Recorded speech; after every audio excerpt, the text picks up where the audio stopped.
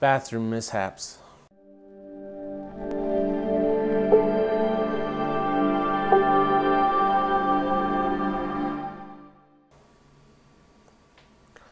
Hi, and welcome to another Monday segment brought to you by Free Life Food, where reading labels is optional. I'm co founder Matt Stanley. Today I'm going to talk more about the revolution and the bathroom mishaps we have, and one that I specifically had here in my home city. Um, we'll start with my story, which is uh, I had some new food that was gluten free, and I'm not sure if that's what caused the stomach problems or I've been having a lot of trouble with tea lately. Sweet tea's all right, but the unsweetened tea and some of the loose leaf tea has been really bugging my stomach. Um, so I went to a new place and was trying some tea. I've been drinking a lot of mate and doing really good with it, so I tried to do some loose leaf mate and my stomach started hurting, so we were in a uh, clothing store and I went to go use the restroom and the men's restroom was kind of dirty, so I waited for them to finish in the family restroom. And once the lady was done, I went to go use the restroom and she started yelling at me in Spanish. I don't speak Spanish. Um, I know a little bit, so I was like, "Está bien, está bien," you know, it's okay, and just kind of ignored her and went in, shut the door. Um, and after she was done banging on the door and yelling at me, she finally went away. Um, I proceeded to do my thing. Um, for you celiacs, you probably understand that who have the more stomach issues. Um, I don't get sick or have projectile vomiting or anything. I just it's all bowels. So um, I was doing my thing and someone tried to come in and I said, you know, hang on, someone's in here and oh, sorry, no problem. They're very polite.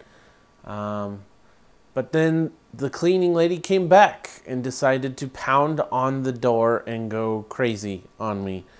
And I kept telling her uno momento, which is just just a minute, you know, and she's like, no, uno momento, and just started yelling at me in Spanish and getting all carried away and really brought a lot of attention to me, what I was doing, and, you know, the fact that I, I hate how much I have to go into the to the restrooms when I have attacks and deal with diarrhea or stomach pain or you know any of that stuff.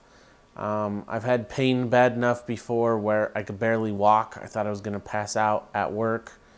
And then I got to drive across town to find a bathroom because down here we have so many bums, they keep everything locked. So it was, it's a very embarrassing thing. I, I hate doing it. I hate letting people see me do, th- you know, go to the bathroom or anything. I don't like to talk about it. Um, and I have this Hispanic cleaning lady banging on the door screaming in Spanish. Um, now, usually I, I put up with people in general. I, I'm not going to report you, I'm not going to say anything. You mess up my food, I'll either eat it or just throw it away and pay for it anyway. I never speak up, I never speak out. But I called all of you autoimmune people out to stand up, to, to be heard, to share, to do all that. And that's why I'm sharing and letting you know I did stand up. It was against every fiber in my being. I just wanted to leave once I was done. But instead, I did. I got a manager. And I told them, look, I have an autoimmune disease where I get a attacks and I have to go to the bathroom to take care of stuff. It's embarrassing. I don't even like having to deal with it. I don't like the fact that I have to tell you about this. But I don't appreciate your cleaning lady going in and while I'm in there, banging on the door, screaming at me in Spanish because she doesn't like that I'm using a bathroom she cleaned. It's total BS. I was very angry, and he said they had bad experience with that cleaning company. They were going to write an email. Apparently, she's been kicked out of a store before because of her her attitude and, and how she treats the customers. Um, so I did. I spoke up. And it's part of what I'm calling you guys to do. What I talked about last Monday autoimmune revolution. We need to start this revolution. Don't sit at home. Don't hide. Speak up. Share your stories. When I go to these expos and people tell me their daughters projectile vomit violently to where they're worried they're going to go doc to the ER or die um, because they had a little contamination from from gluten or you know the side effects of Hashimoto's or HAE or or diabetes when your blood sugar goes too low or too high the way you feel. Sometimes it's the same that you get that heavy feeling. Sometimes it's not. Sometimes it's just the brain fog. Uh, you don't know what side effects you're going to get. Most of mine are usually abdominal pain weakness lightheadedness, nausea, whatever, stuff like that. I get the basic stuff. Uh, I know people say, you know, you're lucky, but try having it hurt so much you can barely walk or breathe or anything, and you're passing out from the pain for 30 years, because that's what I've been doing. I get I'm lucky because mine's more straightforward in the guts, and I don't have all the other stuff, and it wasn't hidden under something else that they couldn't figure out. And I, I feel bad for those of you who have gone through those things, but nobody's side effects are less than the others. Nobody's attacks or triggers or anything are less than the other person's. 10 pounds is 10 pounds for everybody. My 10 pounds is 10 pounds for me, and it might not be for you, but yours is for you and might not be for me. But we're all dealing with our triggers and our attacks and our side effects, and it sucks. But I did. I spoke out. I am changing. I feel myself every day, the way I talk, the way I do stuff. Every day I'm changing. People think it's a joke or that it's not offensive.